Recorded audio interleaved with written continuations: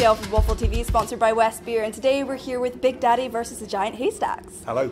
Hi, how are you guys doing? We're very well. Yes, very we just fat. come. We just come off stage, so we're all right. Yeah, how was the performance? Uh, It was great. It was good today, wasn't it? Yeah, yeah. It wasn't too sweaty. Yeah, was that your first performance? Well, that's our Third. third. Third. Or our 58th if you look at it overall for the Yes. show. Yeah. So Yeah. third here. So have they all gone well?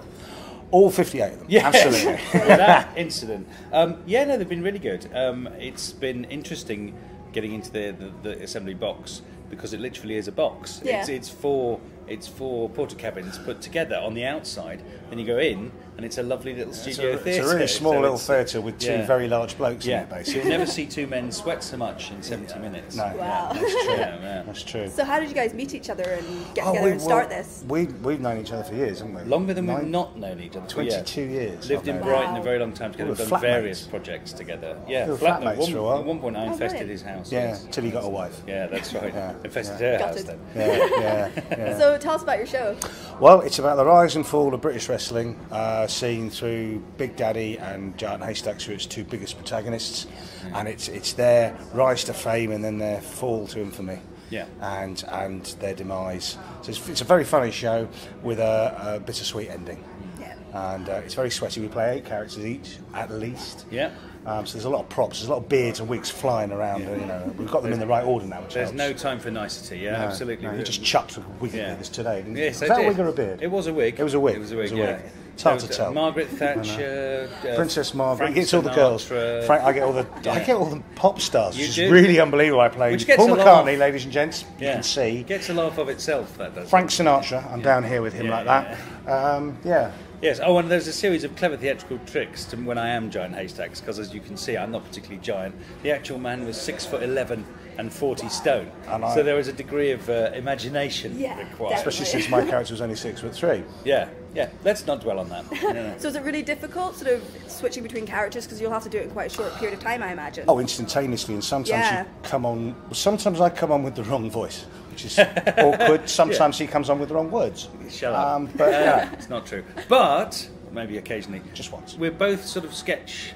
background, uh, done uh, various sketch things. I used to be in the On Johnsons. You did a Yeah. bit of that, Yeah. and you also did uh, Treason Show and all channels that. like that, which is all about fast changes and fast things. So Yeah. after a while, it's fine. You just go, it's this bit, bump it, mm, you know. and It's, uh, You know. There's no time for method though. Yeah. it'll be very, Oh very no, no, we're not method. waiting like this guy. I don't No. feel it, love. Yeah. We don't do that. What Can't would Margaret, Princess Margaret, do in this do situation? in this situation. No, no Pinch time. Big Daddy's arse. Yes. Yeah. yeah. So why did you choose to do a piece about this particular topic?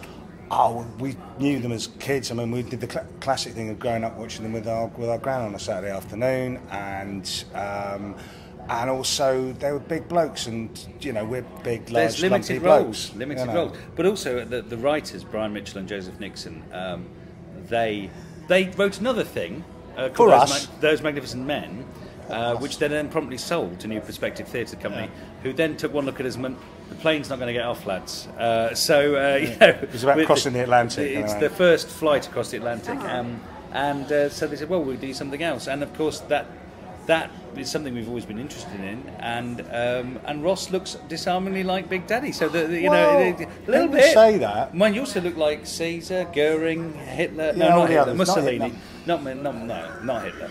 Other other shows I have done is what he's Yeah, on about. yeah. So it's an award-winning show. So Yes. tell us about some of the awards you've won.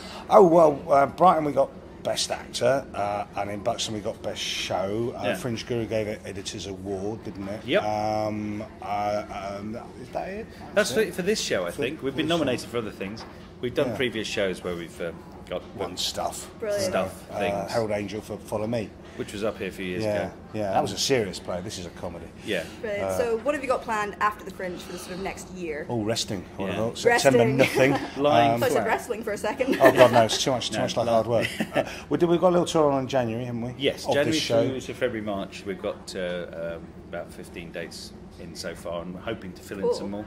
Yeah. Um, and I'm off doing uh, one of Brian's other shows, The Opinion Makers, at the Mercury Theatre Colchester, Cool. and the Derby Playhouse, which is a musical about market research, which doesn't sound promising, but is very funny. It's very actually. funny. Yeah, it so, so when and where is your show on? We're on at the box at twelve fifteen Yeah. uh, in the assembly in the afternoon, not Yeah. the morning, um, Yeah. and it's at Assembly, Yeah. George Square.